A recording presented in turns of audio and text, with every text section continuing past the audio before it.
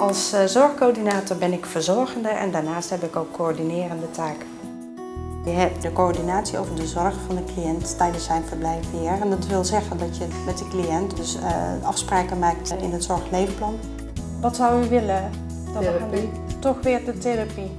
Wat ik het allerleukste vind als zorgcoördinator is de coördinerende taak die je hebt. Dus uh, de afspraken die je, die je maakt met de cliënt in het zorgleefplan en dat die ook nagekomen wordt. Het nauw contact dat je hebt met de, met de cliënt uh, en ook met de andere disciplines. Op de locatie waar ik uh, werkzaam ben heb ik uh, heel veel contact met andere disciplines. Ja, de fysio, de ergo, de logopedisten, de diëtisten, die schakelen wij eigenlijk heel vaak in. Nu ben je echt een multidisciplinair team. Dus ik leer iedere dag andere dingen. Iedere dag heb je weer iets wat je moet oplossen. Groenhuizen biedt heel veel ruimte om jezelf te ontplooien als je dat aangeeft. Dat ervaar ik als heel, uh, heel leerzaam. Je weet uh, heel veel over bepaalde onderwerpen, wat voorheen gewoon heel vlak was.